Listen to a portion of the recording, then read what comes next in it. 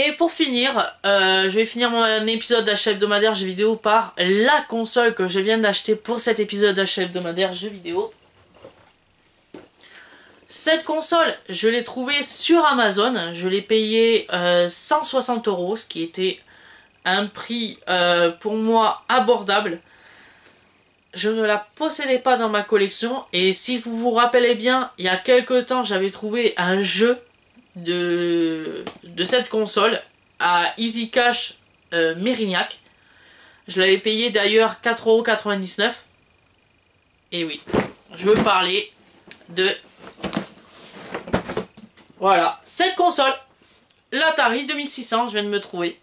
Donc euh, comme, euh, comme je le rappelle, j'avais trouvé il y a quelques temps le Real Sport Soccer sur Atari 2600 à Easy Cash Mérignac et j'ai voulu absolument me trouver la console. J'ai réussi à la trouver sur Amazon, comme je l'ai dit, je l'ai payé 160 euros.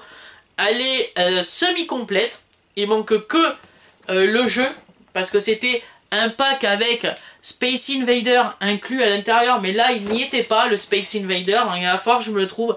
Mais euh, elle est euh, presque complète et ça me fait très plaisir d'ajouter une bonne vieille console à ma collection que je ne possédais pas. Donc euh, pour le prix que je l'ai payé, j'ai tout de suite dit je l'achète parce que c'était vraiment une console moi-même que je n'ai pas connue étant donné qu'elle était sortie dans les années, euh, je crois, 79-80. Donc voilà.